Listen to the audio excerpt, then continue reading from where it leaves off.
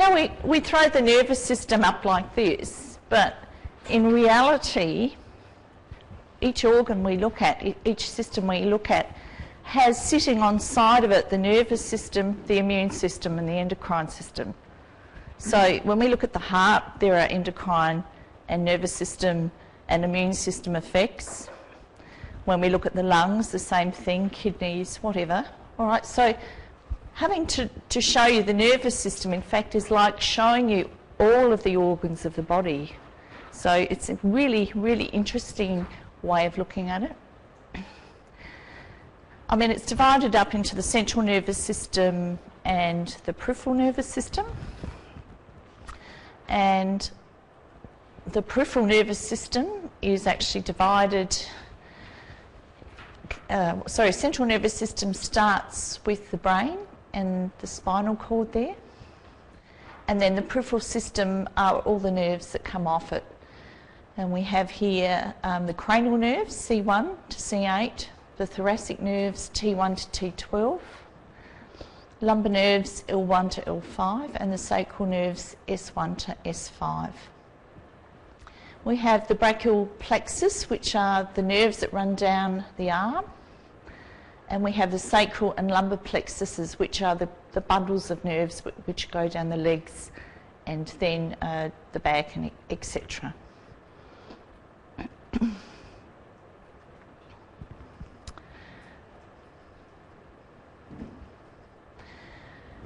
now the peripheral nervous system is divided into the sensory part and the motor part. Sensory is what we feel and a lot of that also involves pain. Um, and the motor division, there's a autonomic nervous system component of that and a somatic nervous system component of that.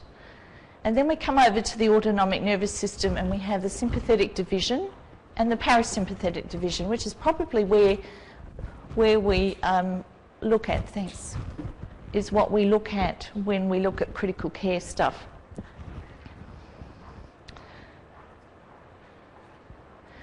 Okay, um, of interest, the cranial nerves are in the peripheral nervous system even though they originate up in the, the upper part of the brain. Okay, do you want me to go through uh, neurons? Are you familiar with neurons? No? Okay, we'll keep going. First of all, neurons, there's um, a soma, axons and dendrites, and there's also connective tissue, which a lot of us don't realise is there. So, um, for example, in the brain, we have lots of neurons and nerves, which are bundles of neurons sort of running together. But it, they're all glued together with stuff called um, neuroglia, and there's microglia, astrocytes, oligodendrocytes, and Schwann cells um, in that mix. Uh, so here we have our neuron. We have um, a soma, which is a cell body. The dendrites pick up information there. Uh, the information runs along the axon, and then we have the synaptic terminals there. Um, and we have another, perhaps an, an effector cell that picks up on the information. There are afferent or sensory neurons. They're a little bit different to the motor neurons. And you can see here we have um, these little things here called nodes of Ranvier. And around that are Schwann cells wrapped around for the myelin. Uh, information in electrical current goes from hop, hoppity hoppity hop from each node rather than sort of a long drawn out process. So we have what's called saltatory transmission of elect electrical current and it goes from one node to the other and hops along very nice and quickly.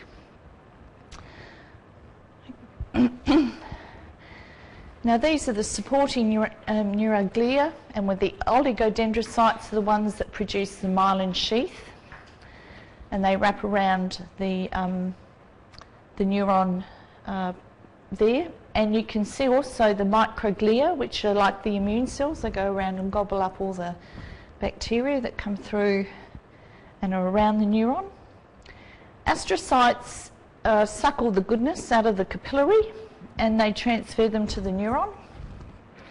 And we have epithelial cells which line um, all the ventricles in the brain and this around uh, as you go down the spinal cord. Um, and, and they've got little cilia on them and they actually have an immune function. now, if I took a slice through someone's spine there, there would be uh, a little central canal and, oh sorry, spinal cord. There would be a central canal and then there would be white matter and grey matter. What's white matter consist of?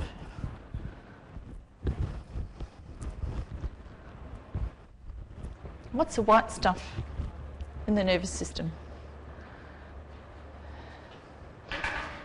Myelin. Okay, it's, it's that protection stuff. Myelin and the grey matter is actually the soma bodies, which is the nucleus of each of.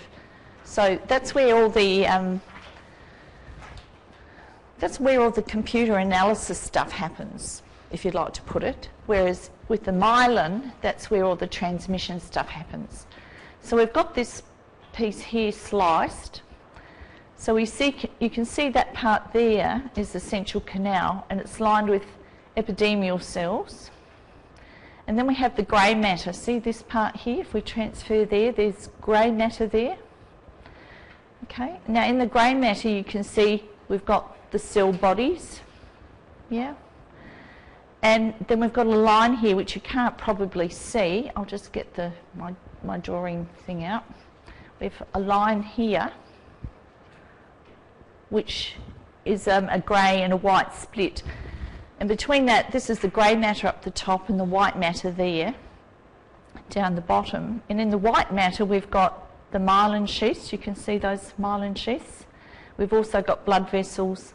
We've got an astrocyte, which is giving the goodness to the neuron. And we have a microglial cell running around, getting rid of the bacteria.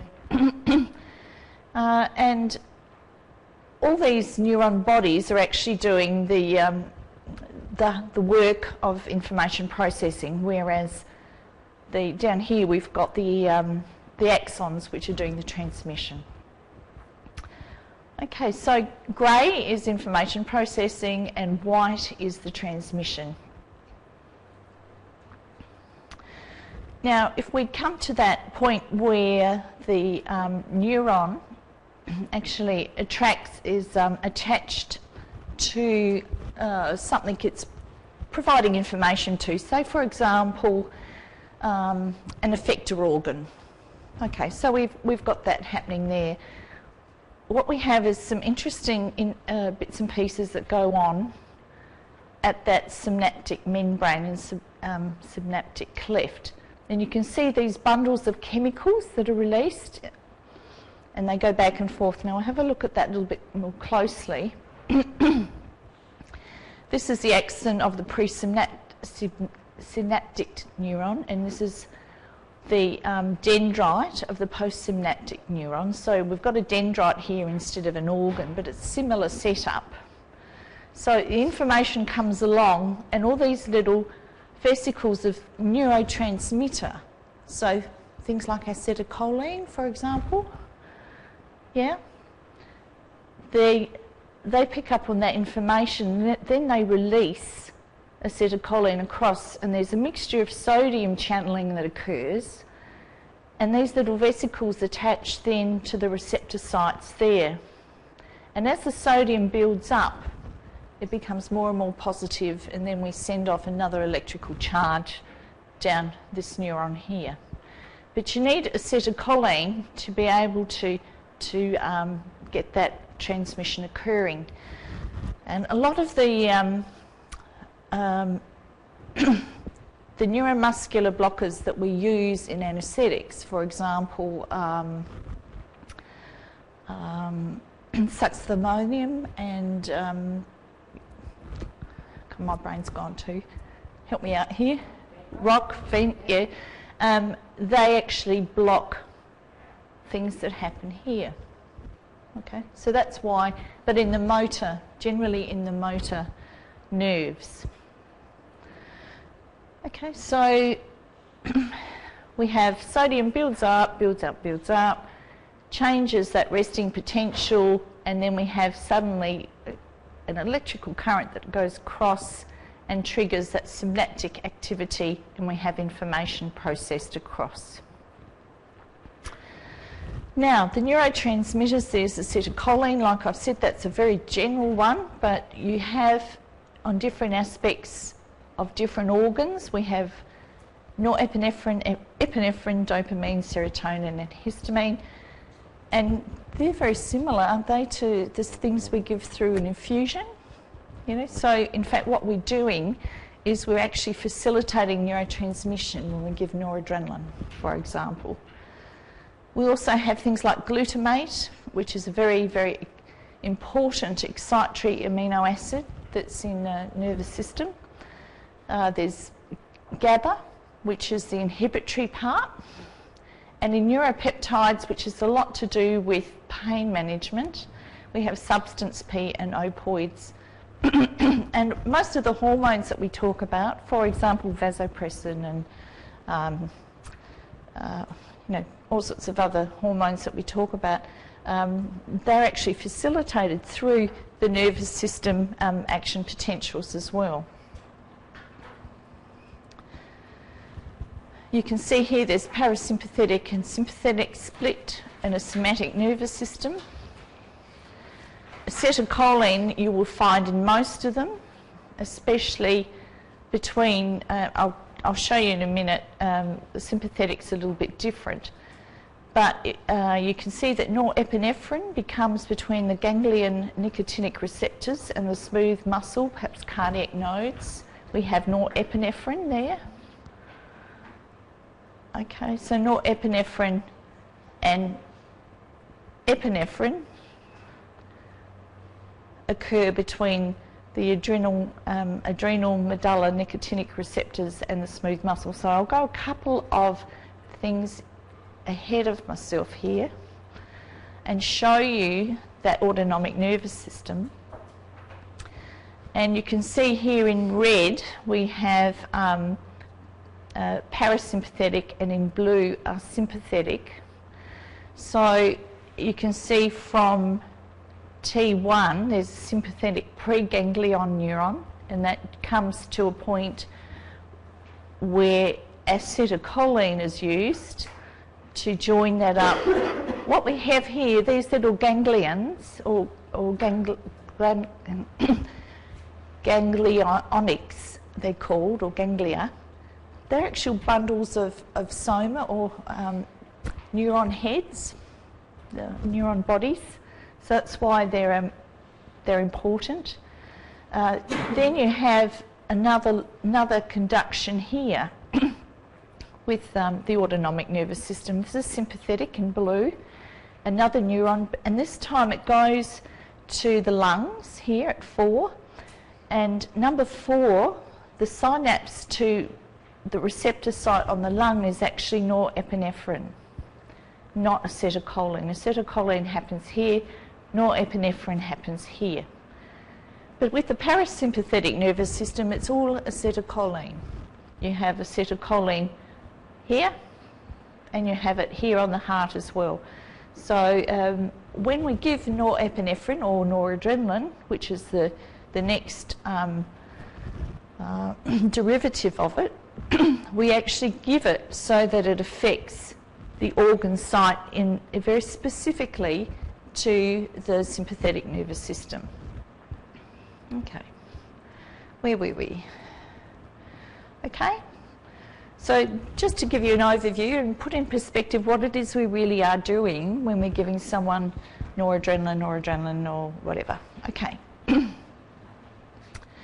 Now we've looked at the spinal cord and the grey matter and the white matter, but and we talked about the ganglions quickly, um, just those bundles of sensory ne neurons. You can see there's cell bodies of sensory neurons there and cell bodies of motor neurons, uh, and they interact here. If you've got um, something that is a reflex, it will go through only that part of the spinal cord and then come back. And do um, a reflex reaction. Okay, now these corticospinal tracts and dorsal columns, you'll find the cortical spinal tracts are descending neurons and the dorsal column are ascending neurons. So I don't know if that matters a great deal to you, but just to let you know. There's so much more to this than meets the eye. This is again the reflex. We hit someone's knee with the little hammer. There's some receptors there on the stimulus, and what happens is they it goes through the femoral nerve down the motor neuron and makes that sensory nerve, uh, sorry, that stretch receptor work so that the whole foot goes that way. And you've had that done to yourself, and suddenly this leg does this own thing. It doesn't make information processing up here, it does its own thing down there. It's fascinating the way that reflexes work. All right. now, generally speaking, if you've got someone with a nervous system issue, and most people have one, whether or not they're admitted with whatever diagnosis.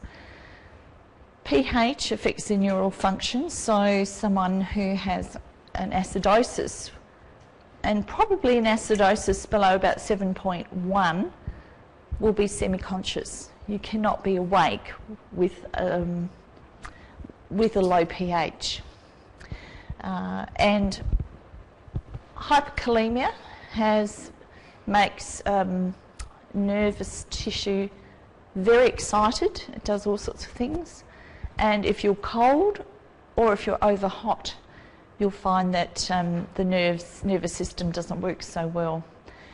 Um, now, the ionic composition of extracellular fluids, mainly sodium, is the one we've got to watch.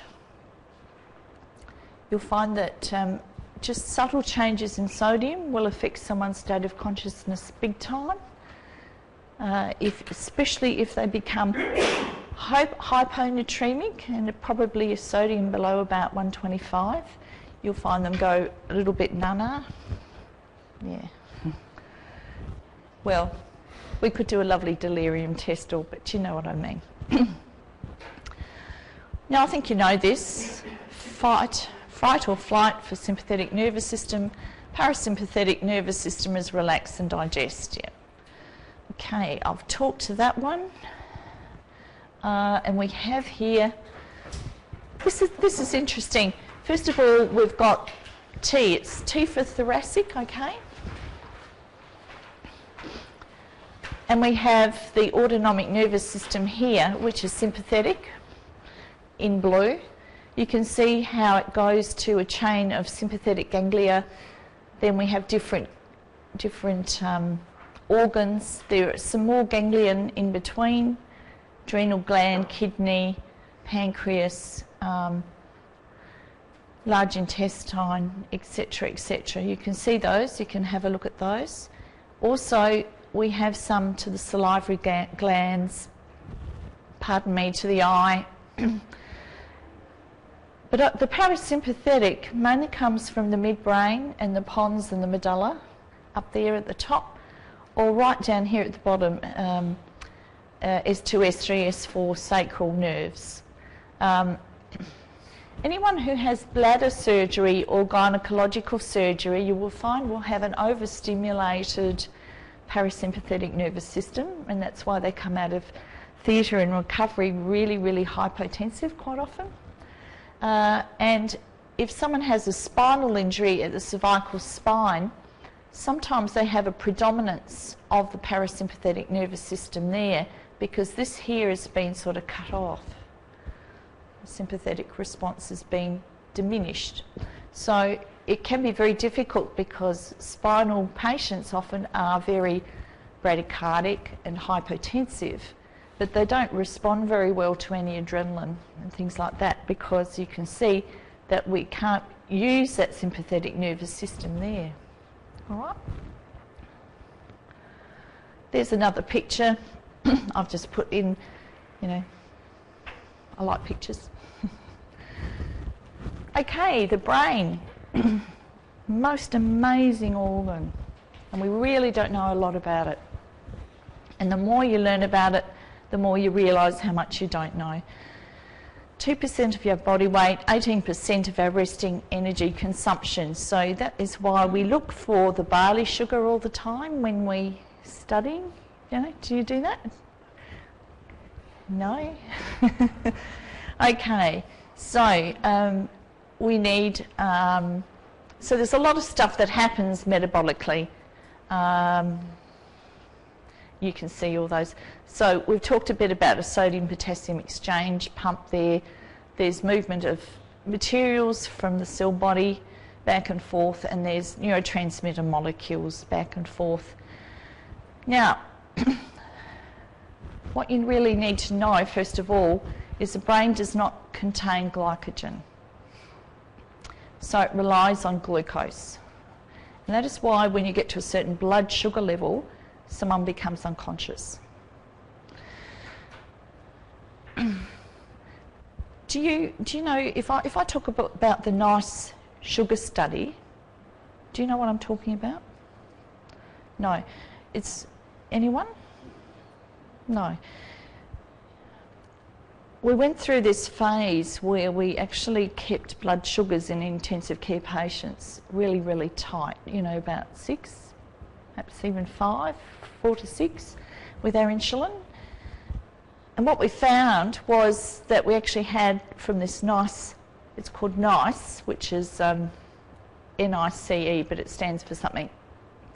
It's an acronym for something what, what we found was that because the blood sugar was so low and, and nice and even, that the brain actually wasn't getting any sugar, any glucose, and that group of patients actually died. So the mortality rate was actually higher for patients with tight blood glucose levels than those that had moderate ones. Ones with really high ones, of course, had a high mortality as well. And this you guys are pretty into the keeping the sugars, you know, moderate. Yeah, yeah. So that, that's why. Um, it's because the brain actually needs glucose. And they've done the studies by actually doing some. Um, one, one of the ways that you can monitor the brain is doing microdialysis, where you put a little tube into the, to the brain tissue and, and drain some of the fluid. And you measure it for lactate and glucose and all those sort of products. And they found that the blood gluc- the glucose levels in the brain with the blood sugar when you're sick in critical illness is actually you know about two points lower than what you would have um, if you had um, a normal blood sugar. So in stress response, which is what we see in our patients, when they, they come along, they actually need that little bit of high blood sugar for the brain to, to, to manage. Of course, when it starts to get up too high, then we have enormous inflammatory response with hyperglycemia, which um, infl inf inflammatory response is another thing I can talk to you about later. All right, now circulation we also need to have plenty of blood flow. So we need glucose and we need blood flow, and we, in the blood flow we need to have glucose and we need to have oxygen. All right? Makes sense? All right.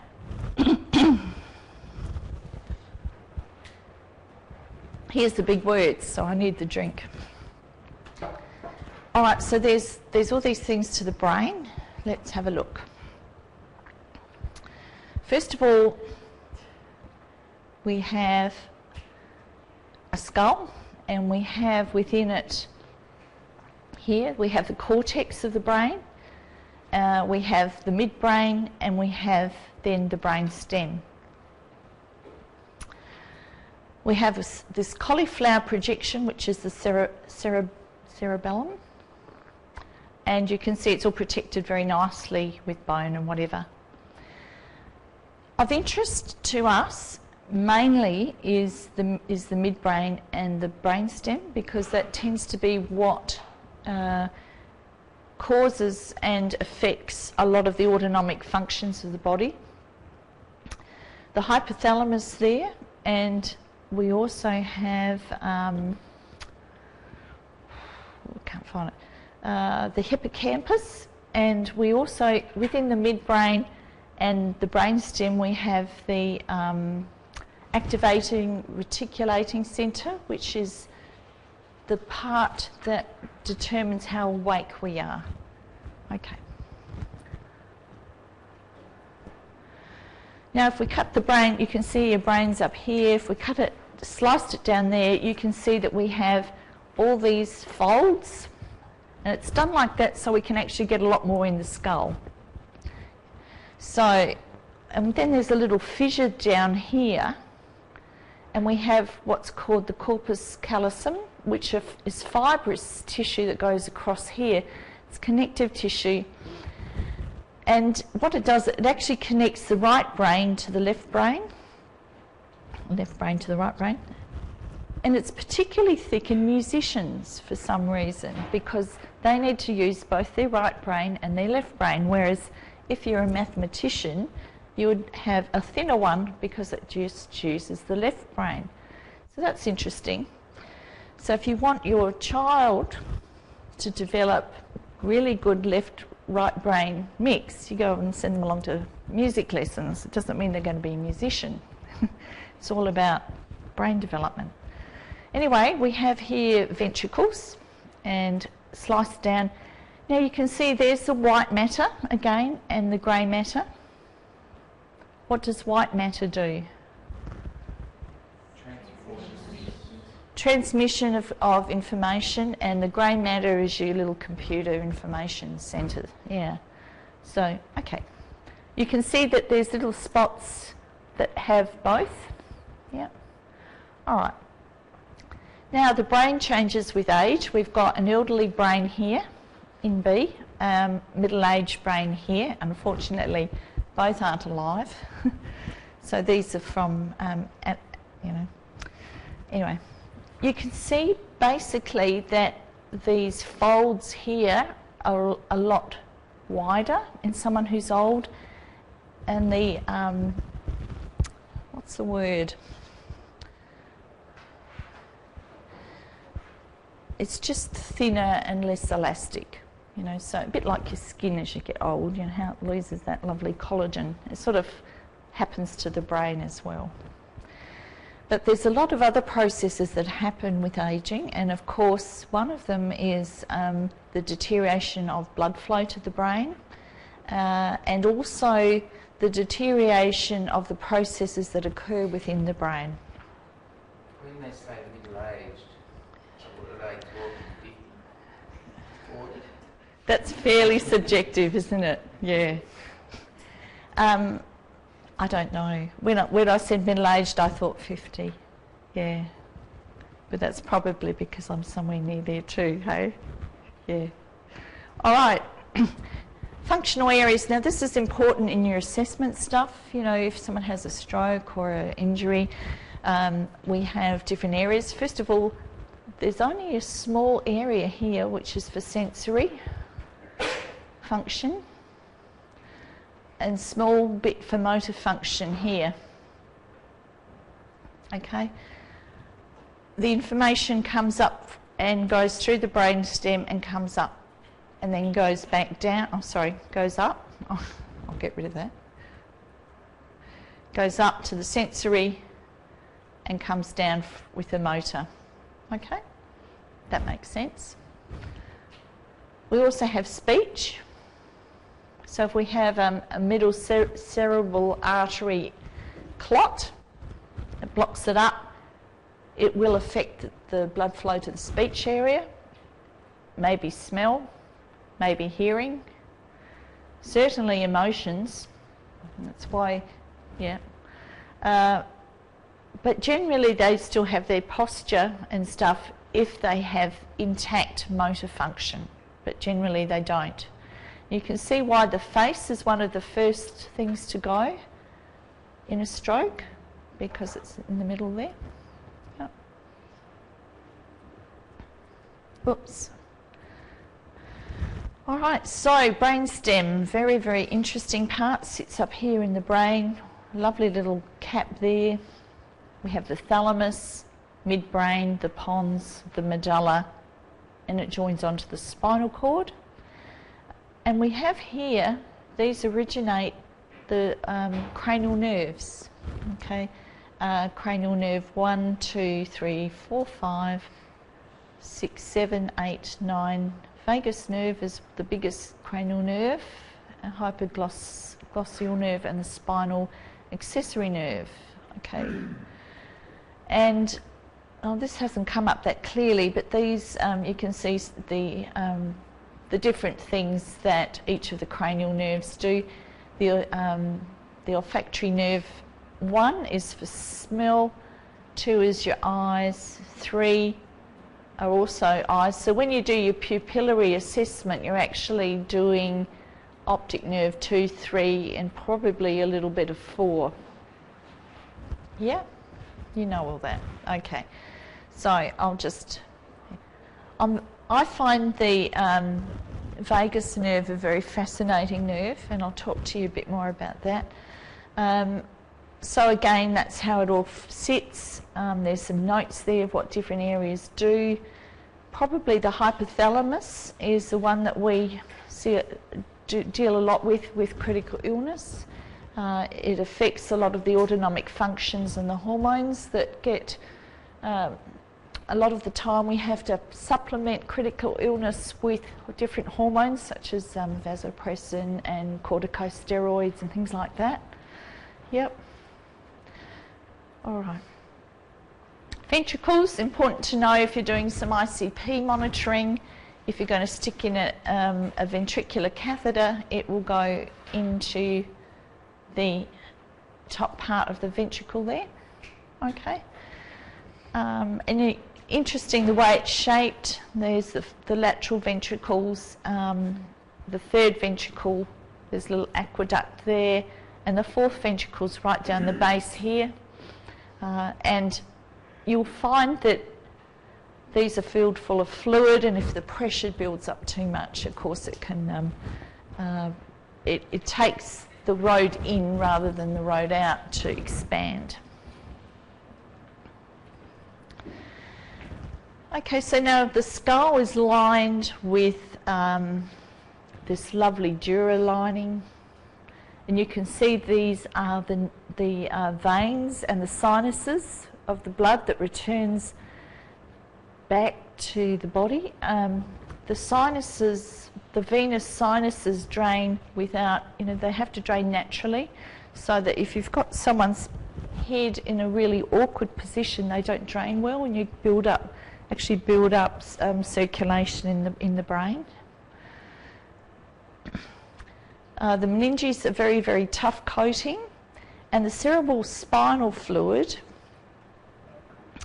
uh, actually takes a lot of the weight of the brain. Um, let's see, the human brain weighs about 1400 grams in air, but only 50 grams when supported by cerebral spinal fluid. So that's interesting, isn't it? That it sort of cushions that weight so that our, he- our heads are already very heavy, but it actually takes that weight and distributes it. Um, yeah. Cerebral spinal fluid is produced up here in the choroid plexus of the third ventricle, and then it, it rotates around and has a, a distribution that moves around. Remember, we've got the ependymal little cells that have these cilia working, and they push it around. We have a flow thing happening. Okay, so it comes down, you can see some little arrows there, back and forth, goes down the, uh, the spinal cord and back, um, and that's when we can do um, a uh, sample CSF from the spinal cord when we do a spinal tap. Okay. Arterial circulation is very important, and especially we're going to look at stroke a little bit today. So you can see here that we have, um, first of all, the carotids supply this on either side, uh, and then we have up here the um, um, basilar artery, um, and it comes up to what's called the circle of Willis there. Okay, probably the one that we see most of is the middle cerebral artery there, which tends to get blocked off with clots and thrombi. All right, uh, and you can see that sideways there of the brain. Uh, it would affect a stroke on that side of the brain. And what happens there is that, of course, we've got all those um, functions of um, hearing, uh, sensations of the face, muscular effects of the face, emotions, um, and then we have the motor supply that crosses down to the legs and hands. So we get the hemiparesis happening. I'll talk a bit more about that in a sec. Now, the blood brain barrier very very important because it actually keeps the brain quite sterile as tight as you cannot get stuff through this blood brain barrier uh, so we have on the blood on one side of it there you can see this is a, this is um, uh, sliced through um, blood vessel and you can see the astrocytes there. Remember, they suck all the stuff out of the blood vessels and they send it off to the neuron. Yeah, remember that? Yep. Um, endothelial cell, which lines the blood vessels. Um, the neuron has a basement membrane there, so very tight. Um, this is what it looks like. The endothelial cells, which line it, are very tight. Now, if you have something like atherosclerosis, for example, and you have a build-up here of atheroma. Uh, you'll find that the blood supply to the brain is a lot less, and you'll also find that the, this will obstruct and have issues similar to a myocardial infarction, and that's how stroke develops. The other side, we have the astrocytes and the microglia, which we've talked about.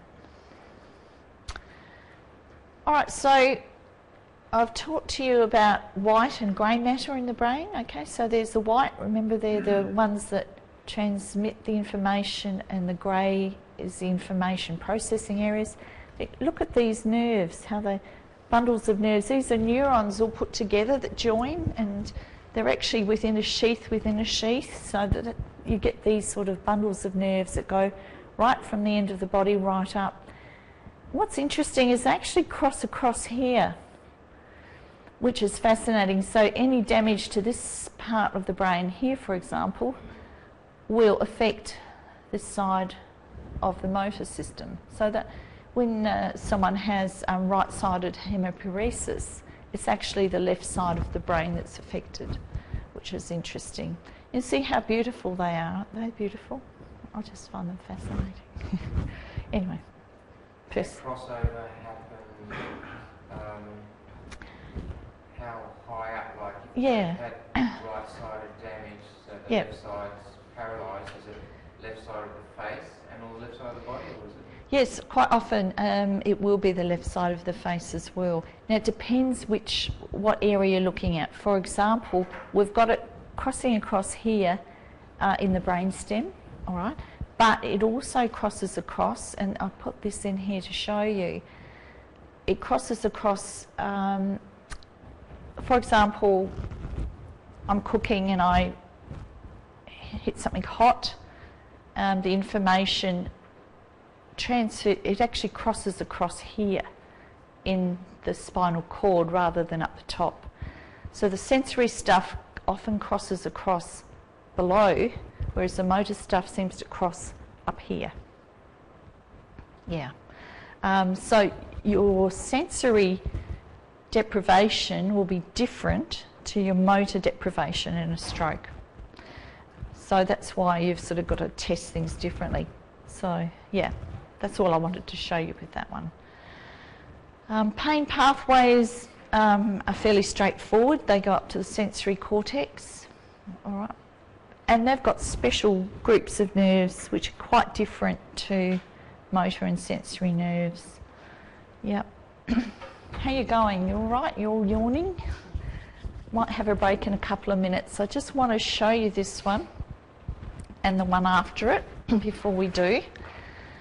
First of all, what this shows is that triad of um, the brain, the nervous system, the immune system, and the endocrine system. They're all in, in, you know, it's one system. It's one overarching system.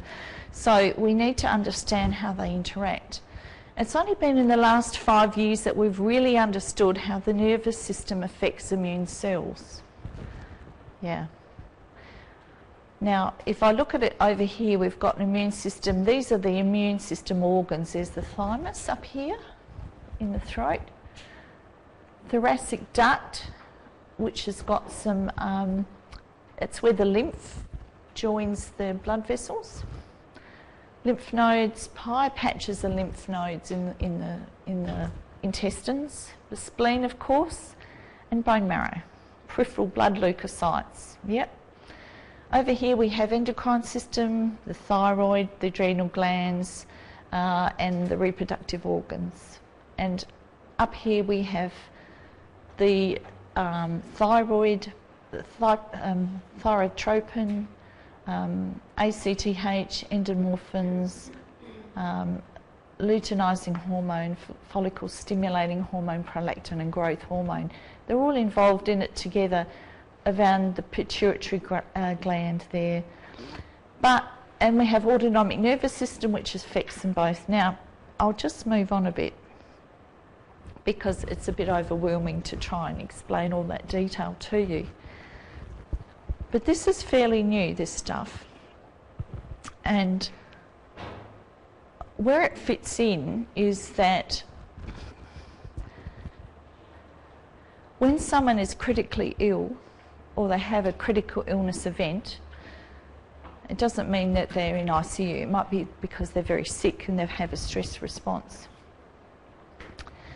What we find is that the um, a lot of this there's the person becomes what they call um, they have an inflammatory response, an immune inflammatory response to being sick. Now, what is of interest is that the sympathetic nervous system actually increases inflammation in someone, whereas the parasympathetic nervous system decreases it. And that's only just new sort of stuff. So when we look at a patient, their inflammatory response is actually, it's okay if it's to heal, but if it becomes overwhelming, they actually end up dying.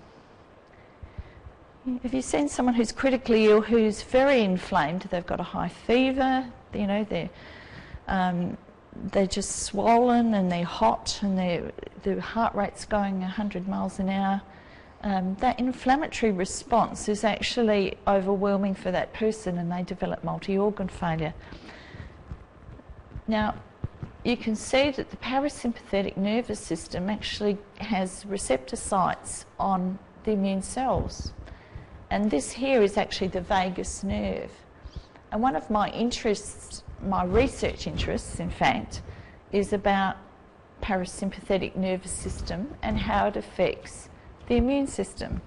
And what this means is that if we don't have enough parasympathetic nervous system activation in everyday life, and we have a sympathetic nervous system stimulation instead, or stress, we end up having a, um, an inflammatory base to our homeostasis, which is actually quite high.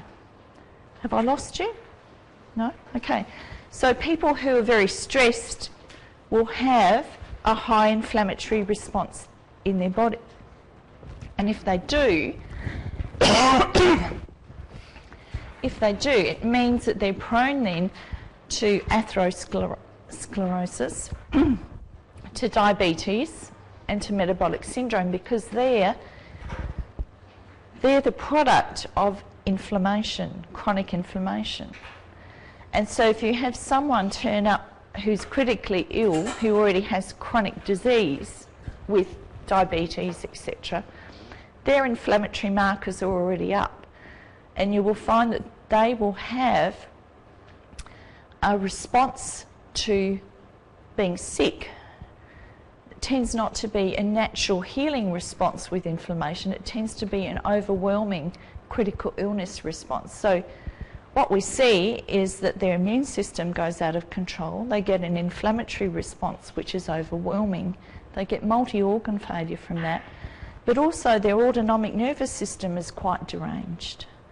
So, anyone with critical illness has it's about um, overwhelming inflammation. It's about autonomic nerve dysfunction. It's about immune system which has gone haywire. And of course, the endocrine system follows that through, and often we have to supplement that. And of course, this is what my, my thesis is about, you see, with my PhD. So, and that's 100 words long, so I won't, 100,000 words long, so I won't start. Okay. All right, do you want a break?